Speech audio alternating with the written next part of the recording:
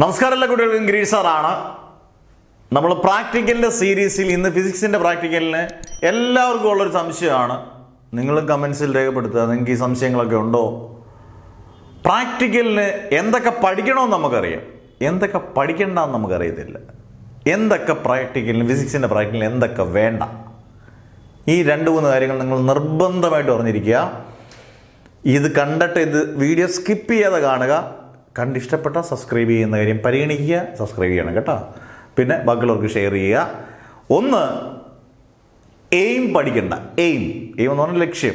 ആ എയിമാണ് നമ്മുടെ ക്വസ്റ്റ്യൻ ഇപ്പോൾ മോഡൽ എക്സാം കഴിഞ്ഞവർക്ക് അത്യാവശ്യം അത്യാവശ്യം അറിയാമായിരിക്കും. അല്ലെങ്കിൽ പോലും നിങ്ങൾ അറിഞ്ഞിരിക്കുക.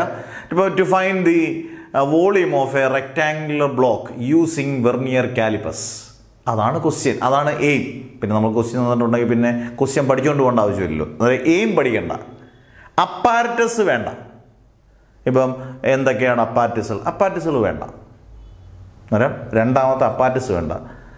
പ്രൊസീജിയർ വേണ്ട. പ്രൊസീജിയർ എന്ന് പറഞ്ഞാൽ എങ്ങനെയൊക്കെയാണ് ചെയ്യുന്നതെന്ന് വളരെ ഡീറ്റെയിൽഡായിട്ടൊന്നും എഴുതണ്ട.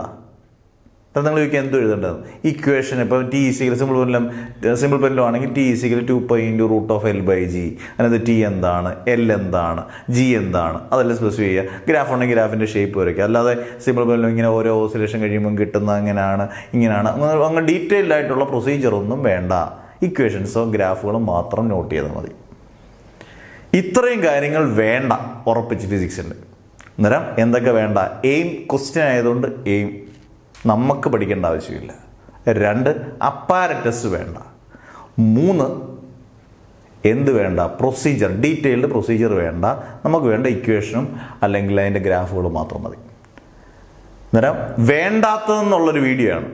വേണ്ടത് നമുക്ക് വളരെ ഡീറ്റെയിൽഡായിട്ട് ഈ പറഞ്ഞിട്ട് കുറച്ച് മിനിറ്റ് കൊണ്ട് നമുക്ക് കാര്യങ്ങളൊക്കെ പറ്റും നിങ്ങൾക്ക് നിങ്ങളുടെ കൂട്ടുകാരുടെ ഗ്രൂപ്പിലോട്ടൊക്കെ ഇത് ഷെയർ ചെയ്യണം എല്ലാവരും ടെൻഷനാണ് പ്രാക്ടിക്കൽ നമ്മളൊരു എക്സ്റ്റേണൽ അധ്യായം വന്ന് നിൽക്കുമ്പോൾ നമുക്ക് എന്തൊക്കെയായാലും ടെൻഷനുകളുണ്ട്.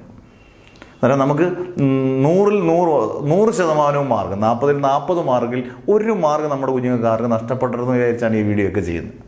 അന്നേരം മാക്സിമം ഷെയർ ചെയ്യുക സബ്സ്ക്രൈബ് ചെയ്യാൻ മറക്കുകയും ചെയ്യരുത്. Never ever give up